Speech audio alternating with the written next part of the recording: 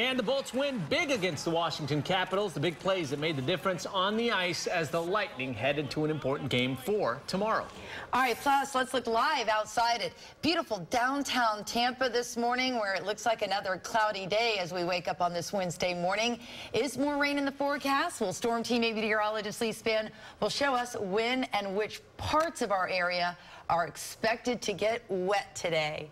Well, good morning and welcome to News Channel 8 today. I'm Gayle Guyardo. And I'm Marco Villarreal. And going back to the Bolts here, you noticed they won last night. You also noticed that Leigh had her blue dress on yesterday. I, Just saying. I, I did too. Uh, you did too, yes. Yeah, well, we everybody has to be participating for it to work. And that's what happened yesterday. So Max Defender 8, speaking of lightning and lightning bolts, we have just a couple of them actually off the, off the Pasco coastline. Currently 14 lightning strikes, but notice this is well offshore and actually not getting any closer to shore. You can just see those lightning strikes for miles away. Onshore, just some light rain now. I was tracking the heavier batch of rain that pushed through Rocky Creek, but now it's actually fizzling out. So it's just very light rain now through southern portion of Hillsborough County down into Manatee County. Once we go even a little bit farther to the south with Max Defender 8, some heavier downpours around Englewood. So all wrapping around this area of low pressure in the Gulf of Mexico. It's been the culprit for our higher rain chances all this week, and it will continue to wrap in showers today. I'll give it to our, well, we'll try to go to our Max Defender 8 future radar, but you know, sometimes things just don't like to work. So we're just going to go to your forecast for you. 86 degrees, downpours develop today. Our rain chance about 50%, muggy and extra clouds. So at 538, we're going to take you on an eight-day temperature trend, guys. All right, thank you, Leigh. Right now, a bad stomach bug is plaguing an elementary school in Pasco County. More than 100 students were absent yesterday, and almost all of the staff is so sick they can't come in. News Channel 8's Jana Jones joins us live from Hudson Elementary School. Jana, this sounds serious. Good morning to you, Gayle and Marco. This is certainly something you do not want to get. You may notice I'm standing outside of the fence trying to stay very far away, but the deal with this is this spreads very quickly and a lot of people are getting it without much effort at all, and that is why so many people are out. Now, the school district sent a message home to parents last Wednesday warning them of a gastrointestinal illness. It says individuals can come become infected in several ways. That includes eating foods, drinking liquids, or touching surfaces that are contaminated and then touching your mouth. The scary part of this is how easily it spreads. Symptoms of this are very nasty. Those suffering have diarrhea, vomiting, fever, fatigue, and a headache, and also bad stomach pain. Most people get this virus anywhere from one to three days, but it can be longer if you get dehydrated. Now, what doctors are recommending for this is good hand washing. That means 20 minutes under the water with soap and water. And a thing about this is hand sanitizer does not work. Students and parent and uh, excuse me, students and teachers are asked to stay home anywhere from 24 to 48 hours just to make sure that no one else gets sick. But this is a very, very serious sickness here at this school. Yeah, it sounds brutal. All right, thank you, Jana. And now some controversy in addressing the crisis in our classrooms. A battle is growing over who's going to pay for security on Pinellas County campuses. And today a job fair is scheduled looking to hire school security officers without knowing where the pay is going to come from. Amanda Shivari joins us now live in Clearwater off Old Coachman Road where the job fair is going to happen later this morning. Amanda, the governor is requiring districts to put an SRO at every school, but now a lot of local leaders are saying we're not paying for that. Marco, that is exactly right. In the last few months, we've seen Pinellas County commissioners and Largo City leaders saying they're not going to pay for this multi-million dollar proposal.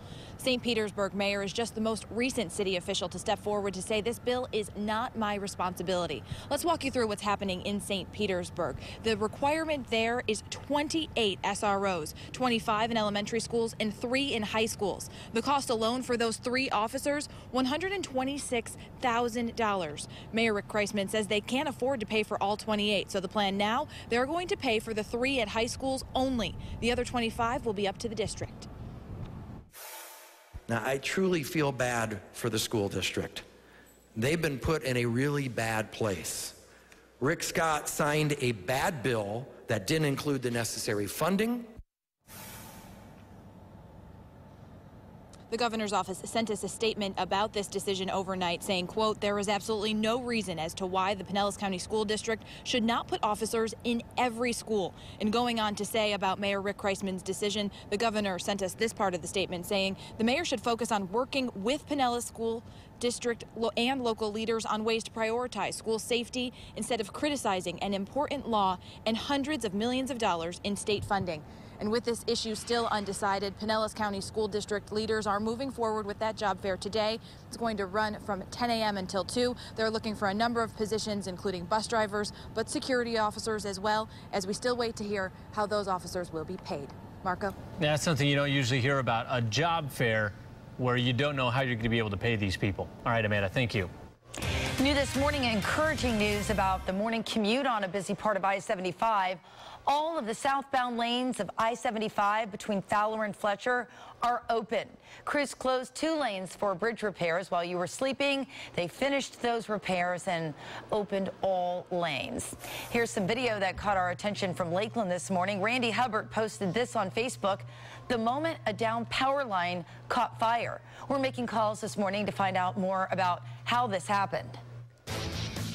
Much needed victory on the road to the cup for the Tampa Bay Lightning. The Bolts beating the Capitals 4 to 2 in D.C. And our own Dan Lucas is with the team taking a look at the big plays and what the Bolts need to do to get another win tomorrow.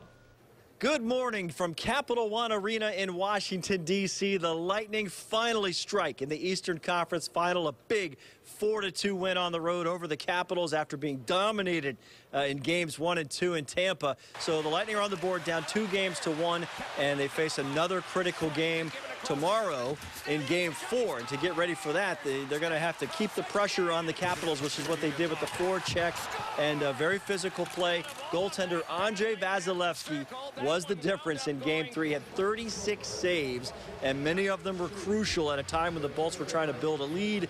He had goals from Steven Stamkos, Nikita Kucherov, Victor Hedman, and a defenseman, scored. Uh, Brayden Point had a big goal for the Bolts, too, setting the uh, cushion there that they needed to get the win. So still a lot to go. They don't want to come home down 3 to one. So it's very critical the Bolts have a good practice today and then get after it again tomorrow in game four. In Washington, D.C., Dan Lucas, News Channel 8 Sports. Tomorrow's game is in Washington, D.C., but you can watch the game with other Bolts fans at Curtis Hixon Park. The party starts 6 p.m., puck drops at 8, and the fun continues all night. Happening today, the National Hurricane Conference gets underway in West Palm Beach. Hurricane specialists and other experts will discuss hurricane preparedness, responding to storms, and how communities recover. Hurricane season officially begins June 1st and runs through November 30th. The start is just more than two weeks away. Hard to believe. All right, it's a breezy morning in some places. This is video of the American flag blowing over Home Bank on Dale Mabry Highway. That kind of puts things in perspective as you head out the door this morning. Yeah, gusty, but very patriotic. I love it. 538 now. And let's find out where all these winds are coming from. Good morning, Leigh. Uh, yeah, we still have that area of low pressure in the Gulf of Mexico. Not looking like it's going to develop into anything tropical, but it is sending rounds of rain into our area. So Max Defender 8 has been tracking that all morning long. At the moment, the heaviest rain is off the Pasco and Hernando coastline. Notice there's 15 lightning strikes offshore, but none onshore. What's happening onshore through Hillsborough County, it's just some light rain. I mean, you use your windshield wipers maybe once or twice, turn them off, turn them back on. That's happening in South Tampa, down along the South Shore near Ruskin, even into the northern portion of Manatee County. Plus, we have some heavier downpours around Englewood in southern Sarasota. So that little batch of rain from Minnesota to, to, Manasota Key will be moving off to the north and east. So it'll be near Northport at about 552 here and Murdock at 605. So now let's go forward with a 50% rain chance today, 40% tomorrow, 50% again for Friday and Saturday. What about the rainfall potential? Not everyone will see rain, but between now and 9 a.m., 9 p.m., excuse me, anywhere you see the green, that's about a half an inch of rainfall. Some places may get up to about an inch. Our, our high temperature today, 86, also 86 tomorrow, and we trend a little drier and a little hotter next week. We check in now with traffic on the 8s, Meredith. We're going to get you started with a live view of 275 near MLK. We are seeing some wet pavement, but we are delay free through that area. Showing you I-4 here. That's near the amphitheater. Also looking good, maybe a little damp in that area, but I-4 here is delay free. So let's talk about I-4 in Hillsborough County moving moving you into Polk County. Right now, you're cruising here near McIntosh Road, 72 miles per hour, 68 miles per hour as you make your way past State Road 33. I-75 through the Riverview area also up to speed.